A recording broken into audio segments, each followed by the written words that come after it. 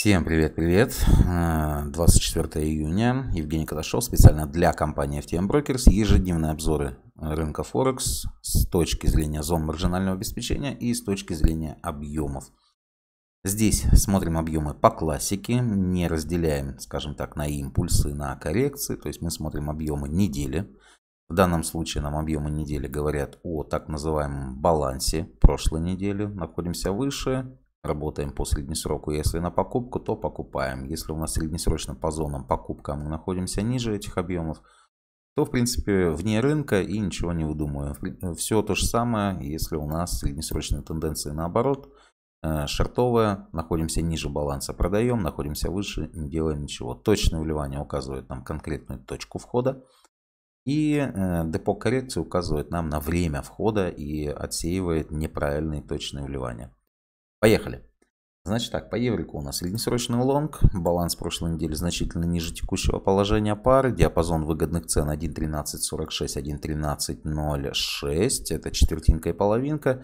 Отсюда будем искать точку входа на покупку при наличии паттерна, при наличии доп. сигналов от э, депок и от точных вливаний. Э, цели 1.1385, вторая цель 1.1421. Пока находимся на самых максимумах, ни о чем не думаем.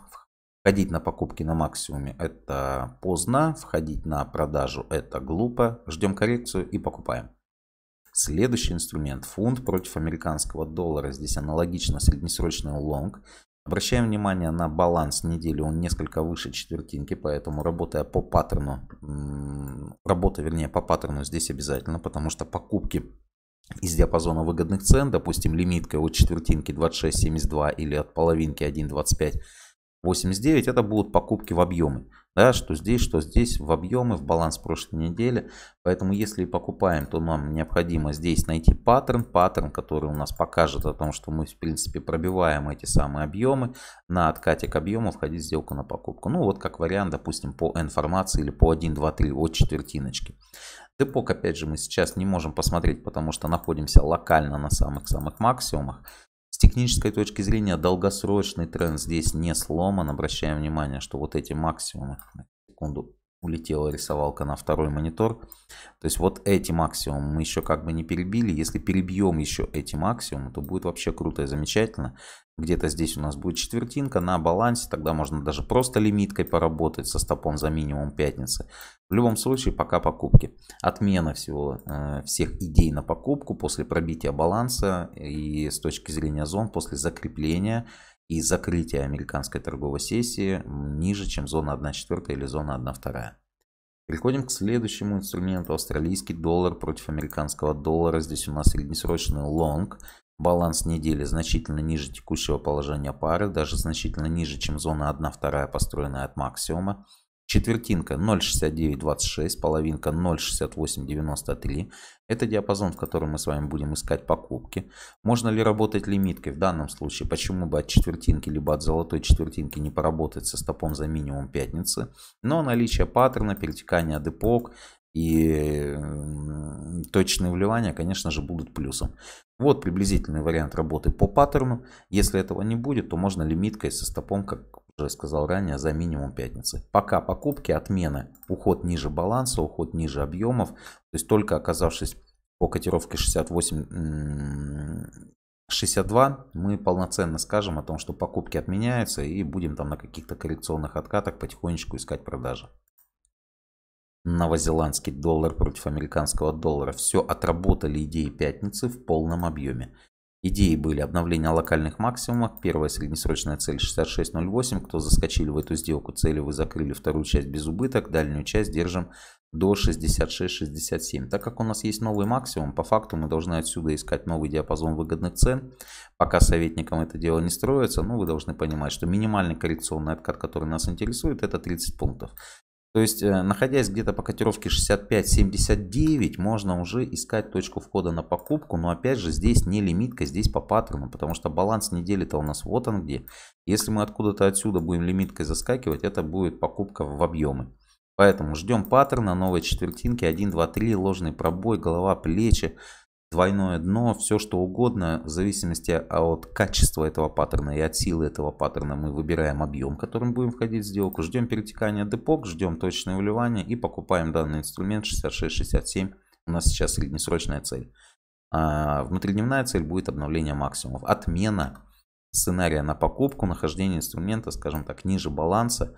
Ну и если там еще и ниже четвертиночки сегодня закроемся, то завтра, возможно, будем работать на продажу, то есть на укрепление бакса и на обновление локальных минимумов середины июня. Это две идеи. Пытаемся на сегодняшний день пока покупать данный инструмент. Доллар против иены. Значит, здесь среднесрочный шорт. Хороший шорт, красивый шорт, качественный шорт. И, в принципе, мы находимся в диапазоне выгодных цен.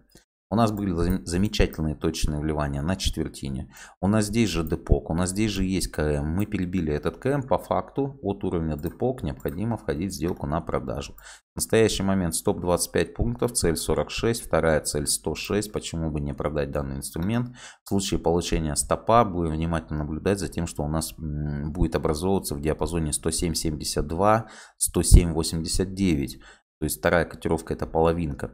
Если мы здесь нарисуем еще один паттерн, то опять же будем продавать. Если мы закрепимся выше, чем зона 1-2, учитывая баланс, конечно же покупать пока не будем. Баланс очень высоко. Чтобы покупать данный инструмент, необходимо уйти куда-нибудь выше этих максимумов. То есть даже отработать недельку, а оказаться где-то выше. И только потом вот тут где-то мы сможем купить этот инструмент. В настоящий момент только продажи. И прямо сейчас есть определенная точка входа. Недостаток – это понедельник. Второй недостаток – это удержание недельной контрольной зоны. Все. В принципе, по данному типу обзоров есть точка входа. Следующий инструмент – доллар против Канады.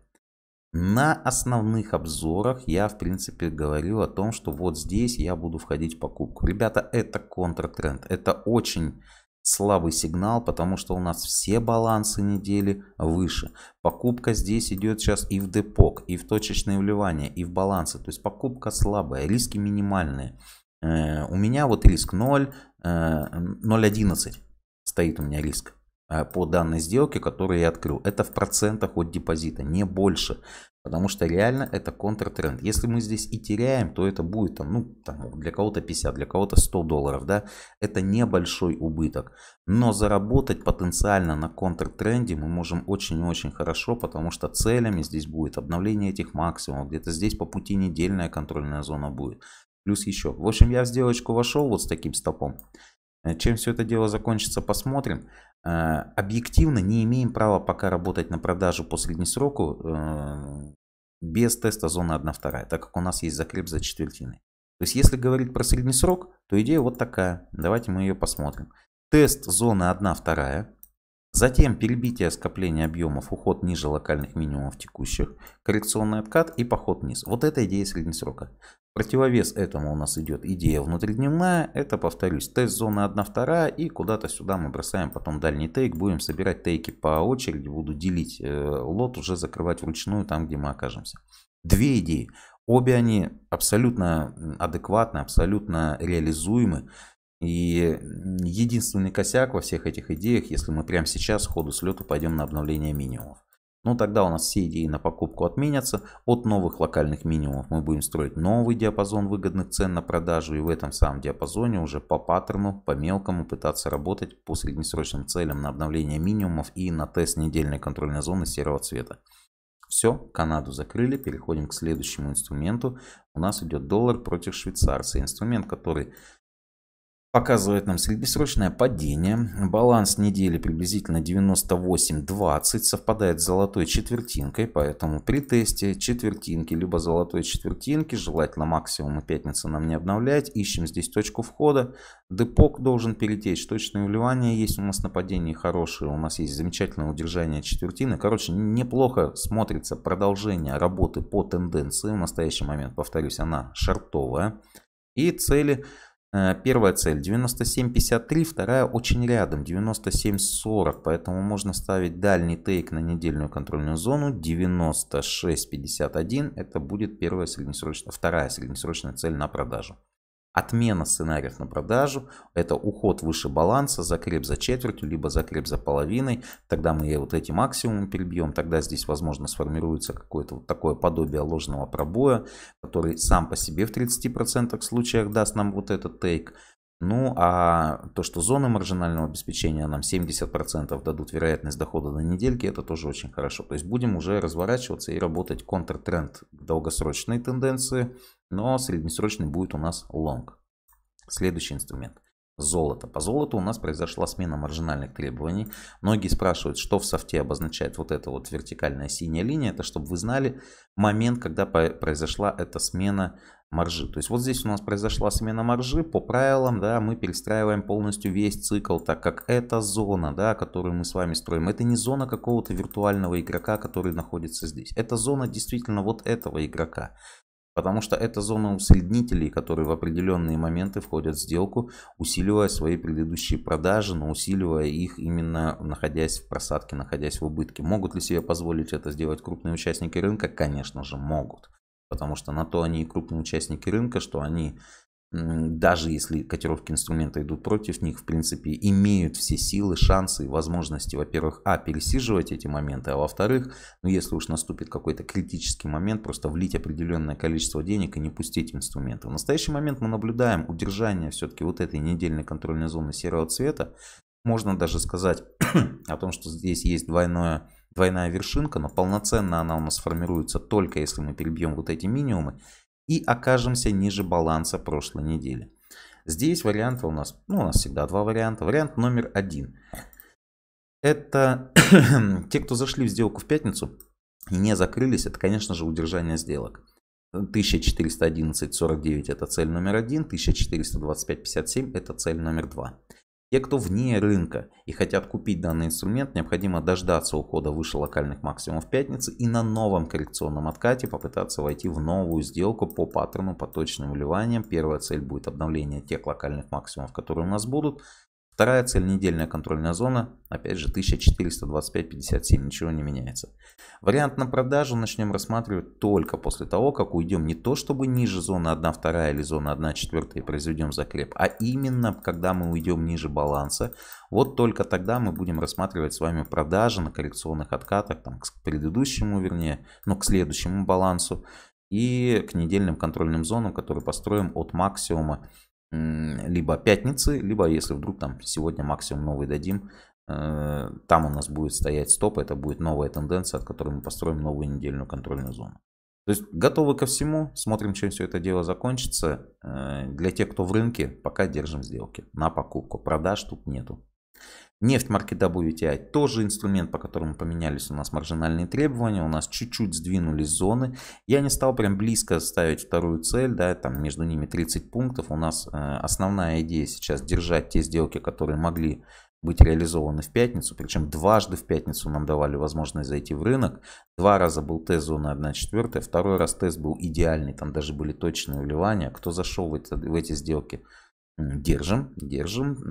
Но второй тейк сразу на 60 ставим. То есть возможно, что нефть развернули, все красиво, через двойное дно, глобальное двойное дно. Хотелось бы, конечно, более глубокий и качественный коррекционный откат, но вот если вы сидите, то вот эта идея номер один. Новые сделки я бы рекомендовал открывать только если мы уйдем куда-то повыше, потому что баланс прошлой недели, конечно же, мы находимся прямо в нем сейчас.